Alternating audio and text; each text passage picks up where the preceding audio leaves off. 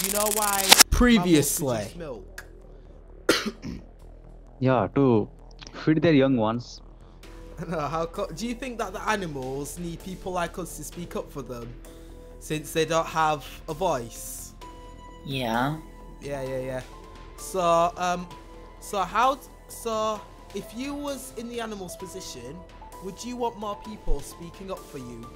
Yeah, yeah. So, these animals aren't just mating naturally; they're being raped by human beings to impregnate them. So, um, so they keep breed, they keep breeding them and breeding them and breeding them. So they have to keep killing them and killing them and killing them to Yeah. to to keep the Maintain their numbers. Yeah. Yeah. to maintain the numbers. Yeah, exactly. We know they get hurt, they feel pain, they suffer, they have a desire to live, Mhm, Yeah, that's true. value their lives. So do you eat meat, dairy, and eggs? Well, you trying to turn me vegan? Oh, I hope so. Uh, well, I don't think it's gonna happen because I love meat so much. So do you think that it's possible to have the dairy industry? Do you think that the dairy industry can be ethical, or is it always cruel? Yeah, that's true. That's definitely true. hmm So do you think that it's possible to be against animal cruelty if you're not a vegan?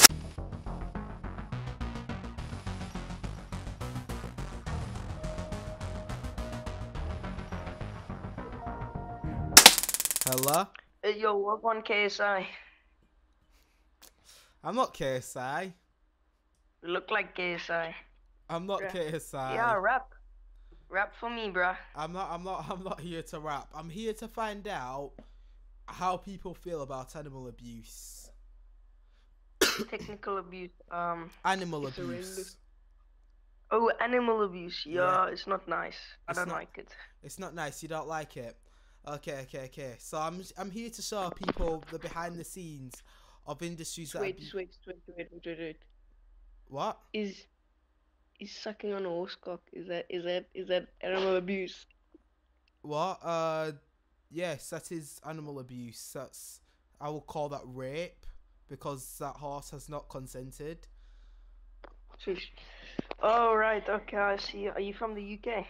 Yeah, yeah, yeah. You from? Where are you from? Yeah, I'm originally from South Africa, but I moved to the UK for like two years. All right, cool, No. very interesting. But I'm trying to show people behind the scenes of industries that abuse animals. Do you eat meat, dairy, and eggs? Yeah. Yeah, yeah, yeah. All right. Meat, dairy, eggs, honey. You eat all that. Okay, so for example, do you do you know what happens in the dairy industry? No, not really. They would Okay. Do you want me to show you what happens? It's gonna be graphic. Yeah, okay, sure. The male calves, called bobby calves, are considered useless to the dairy industry because they'll never be able to produce milk. They are kept isolated for five days before being herded onto a truck and sent to the slaughterhouse. They can be withheld food for the last 30 hours of their lives.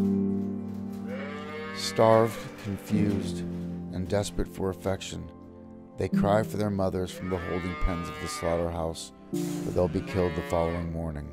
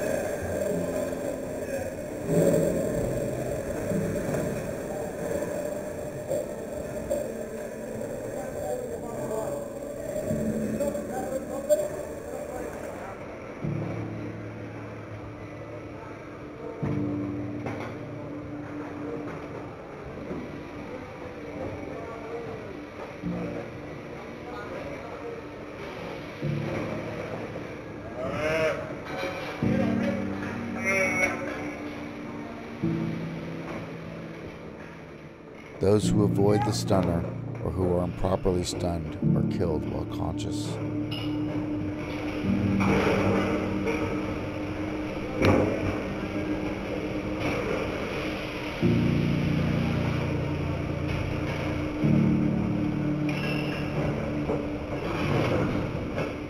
Around 700,000 male calves are slaughtered as waste products of the dairy industry every year in Australia alone.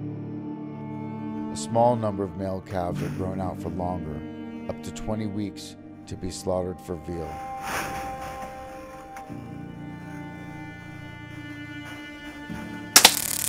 Okay, okay, okay. Because the males don't produce milk, just like all mammals, just like mm. I don't produce milk because I'm a male. The, he's just been kidnapped from his mother, who was raped to impregnate her because because all because only women pro- produce because females only produce breast milk when they've had a baby or they're pregnant. So. Oh, I see. Yeah, this is where all the males go. They all go to a slaughterhouse to be stabbed in the throat. Would you consider this Sure. to be animal cruelty? Yeah, Okay. it's not good. That's not good. That's not good. Okay, so Yeah. Who do you think's responsible for this? Us humans. As humans. Human beings, yeah. Yeah, so Yeah. which which human beings who buys the products of the dairy industry? Excuse me? Who buys the products of the dairy industry? Uh, I don't know, actually. Okay, you just said that you eat meat, dairy, and eggs. So when you buy meat, Yeah. dairy, and eggs, you're making a vote for this to happen. You're making a vote for this to happen to the animals, and you're giving them money to pay for it to happen. Oh, So- yeah. Yeah, yeah, yeah. So, so do you think that you can? Tru- so what I'm here promoting today is veganism, animal rights in the form of veganism. Do you think that you can truly be against animal cruelty while supporting industries like this? Yes. All right. So, so, all right. So, do you think that supporting industries like this means that you're abusing animals? Yes. Okay, okay, okay. So do you think that, and do you agree that until you're vegan, animals will be abused and tortured because of you? Yes. Okay, so do you know what the number one benefit of being vegan is?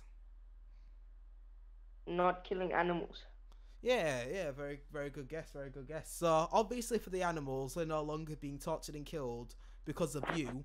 Yeah. But for you, the number one benefit is because he said that animal, cru- because he said that you're against animal cruelty. And Yeah. and when you go vegan, you stop supporting animal cruelty. So for the first time in your life, you have the opportunity to not be a hypocrite. Yeah. Yeah. Very good. So moving moving from this conversation today, do you think you're going to be a vegan or an animal abusing hypocrite? Uh, I don't know, really. You don't know. So veganism's difficult when you think of it from yourself and your own point of view, but it becomes much easier Yeah. when you think of it from the victim's point of view. Yeah. Okay, so um, so do you think that makes it uh, any easier? Uh, I don't really think so.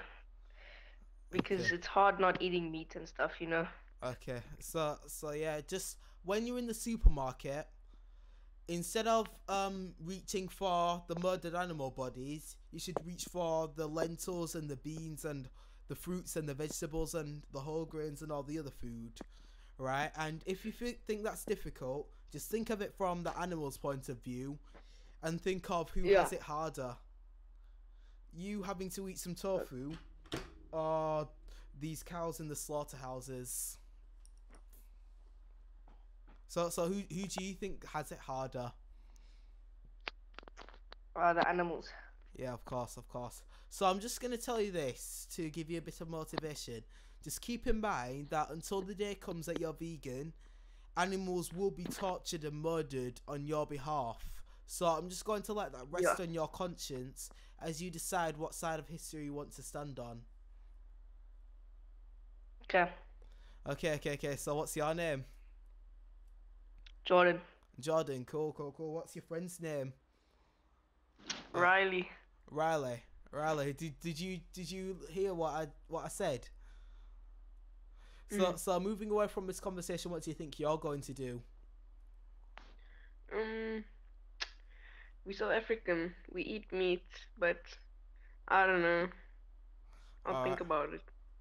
Uh, okay, okay, okay, okay, okay. Just like it's like what I said. yeah, it's like what I said. Um, until you're vegan, animals will be tortured and killed. So, what do you think would be the hardest part of giving up eating murdered animal bodies? Um, I don't know. It just tastes nice. It tastes nice.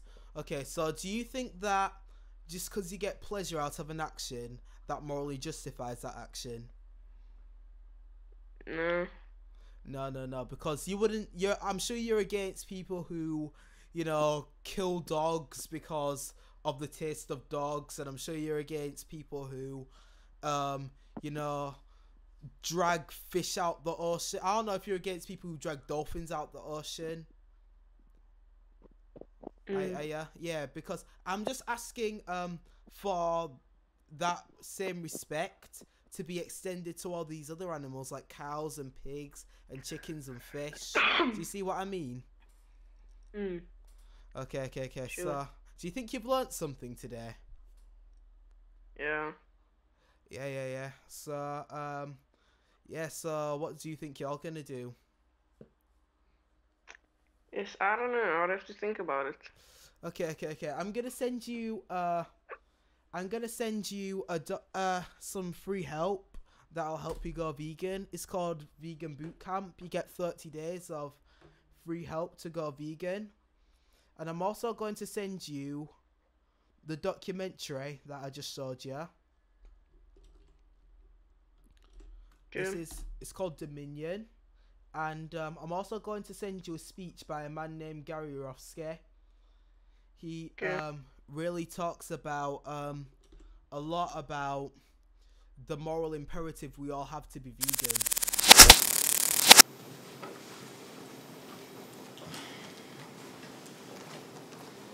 This is not an isolated incident. Don't for one minute think that this is an isolated incident. This is how slaves are treated. You don't really think that slaves get treated nicely, do you? You really think white people were nice when they shipped black people over here on ships? You don't think Nazis were nice when they walked Jews and gypsies into the gas chambers, do you? And this happens because you want to buy those products. Yeah, that guy's a scumbag for doing that. But he's doing that because you want to eat what comes out of her body. And enough already. You're not a caveman and you're not a cavewoman anymore. Stop acting like Neanderthals. This is 2010. Give it up. It's not cute and it's not funny because animals are being abused. It is not your right, it is not your freedom to do this to them. You don't get to have freedom when somebody else doesn't. That's a violation. And if you wonder why vegans get so upset sometimes, like I am right now, you just saw some of it. Every time we show up at a farm, somebody's punching, kicking, and stabbing somebody. And something else that I'm curious about how come when I show videos like this of people punching and kicking animals, people are more upset with that than when they shove a knife in their throat? So even if you find a farm where they're not punching and kicking, when they shove a knife in their throat or put a bullet between their eyes, how is that not cruelty? How old are you, by the Mm. way? 12. 12. You 12 as well? Um, what, what's, Mm. what's your name again? Uh, Jordan. Jordan. Jordan, alright. So, uh, alright. Do you want, do you want to see my channel? My YouTube channel? Uh, excuse me? Would you like to see my YouTube channel? Because this is. Do you, want- do you want me to. Should I post this on YouTube? Yeah, sure. Okay, so this is my YouTube channel. Alright, so. Alright, thanks. Yeah, so when when you're ready to align your actions with your morals, you already know what to do. Alright, Yeah. so is there anything else you'd like to say? Uh, thanks for the word of advice. Hope you have Alright. a good day. You're welcome. Right, Thank t- you. you too. Just think about what side of history you want to stand on. Yeah. Okay, thanks. Thank you. Thanks for the conversation. Bye. Bye.